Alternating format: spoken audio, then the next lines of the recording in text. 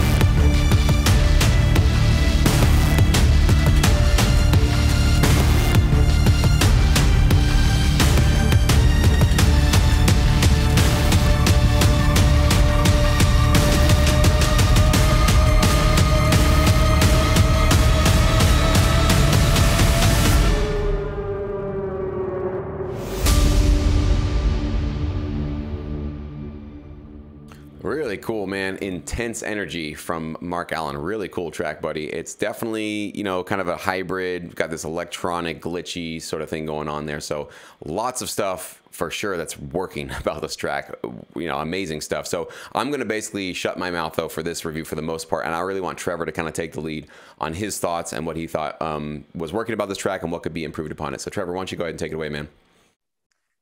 Yeah, all right. Um, there, there's so much cool stuff to say about this track. Uh, I'm gonna, I pulled up our kind of like our kind of structure of how we do these reviews on my end. So I'm gonna kind of go down the list as I normally would when I'm doing a review with some of these people. So the first thing that we usually, or with the members, uh, so the first thing that we usually talk about is structure, and you have basically the right structure for most scenarios.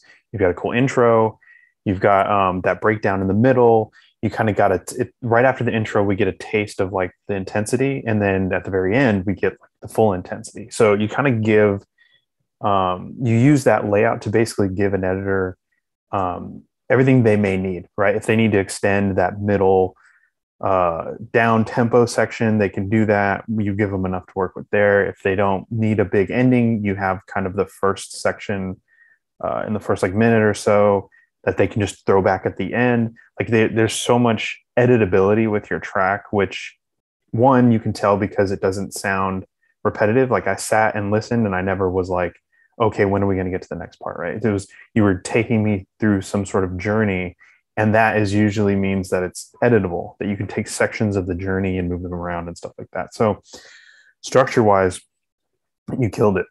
um, instruments uh, the instruments that you use. So a lot of times people will kind of throw stuff in and they won't realize, oh, that doesn't fit.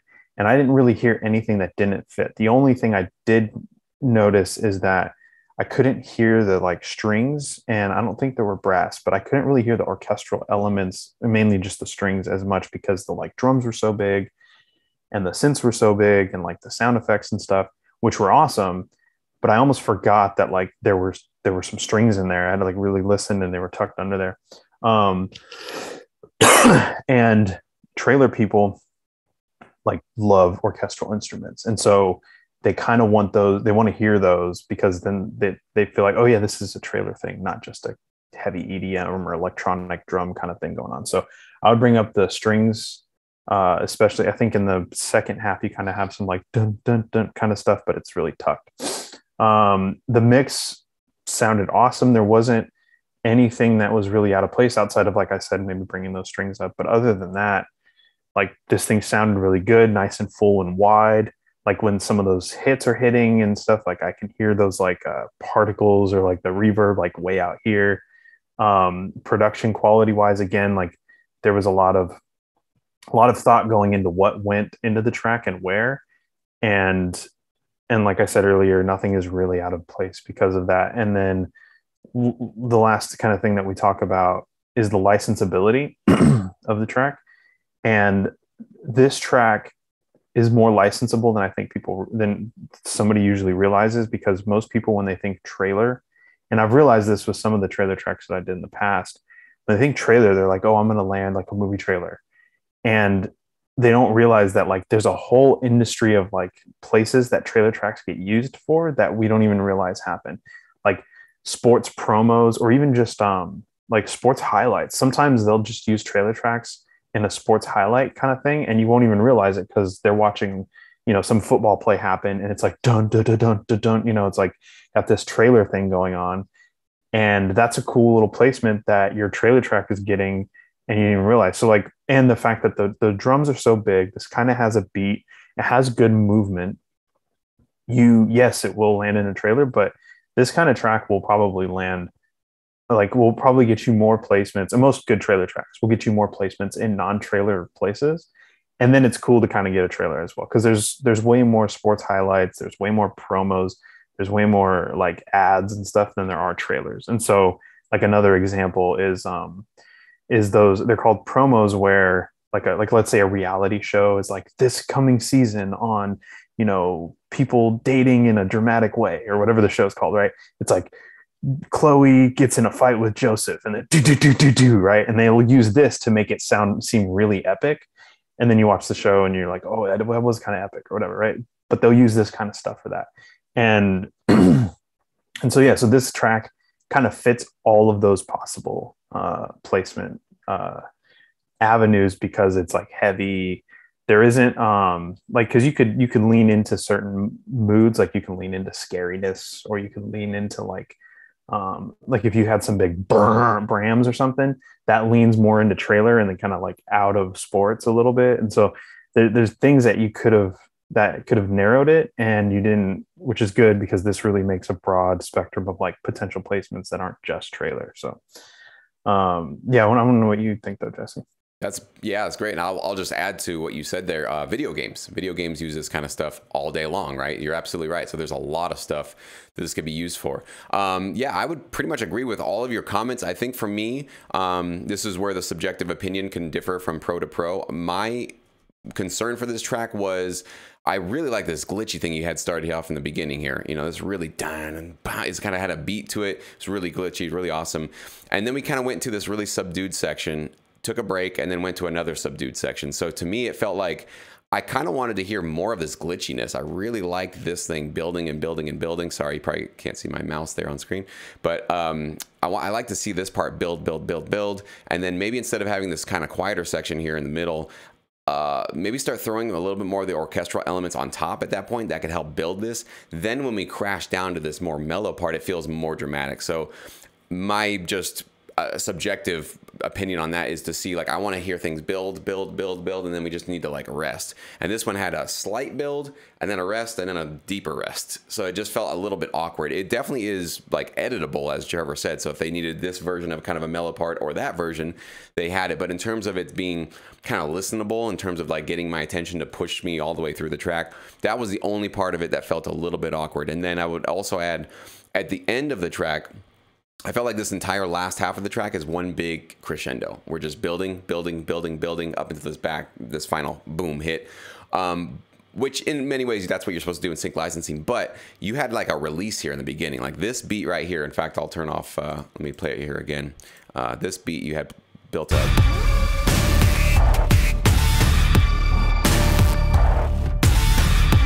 Now it's pretty minimal. There's not a lot musically going on, but it has these really cool, you know, buzz saw sounds. It's just a very industrial, awesome thing. Uh, compared to the end of the track.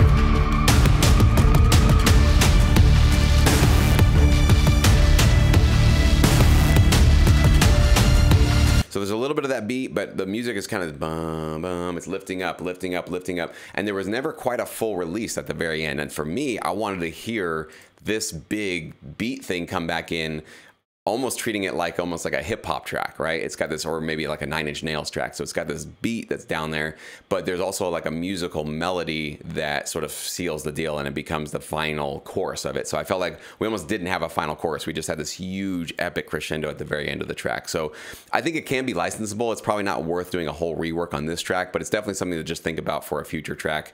I think to have some sort of a release section, um, especially in the trailer world, you're going to want to have that big triumphant mm thing, and you didn't quite get there with this one. It just has a big, big, big build up, and then boom, a crash at the end. But across the board, sonically, amazing, great mix, um, well structured. As Trevor said, adding these elements, uh, adding the intensity as we moved along. So you're doing pretty much everything correctly. These are probably just little tiny uh, tweaks you want to make for the um, the structure next time. So thank you so much for uh, submitting, Mark. I hope you found these uh, notes useful, and for everybody else, hope you learned something from this. And if you want feedback like this from somebody like Trevor or myself, uh, you do need to join us in Pro Feedback. So I encourage you to check us out. There's a link in the description box below where you can learn more about its service and uh, what it's all about.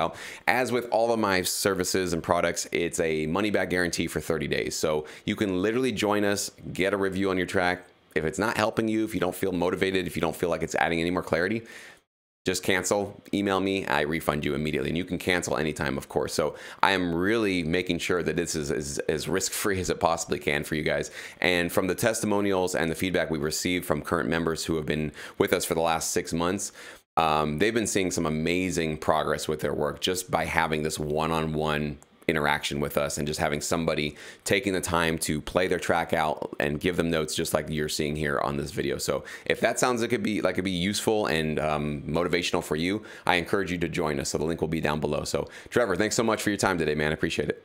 Thanks for having me.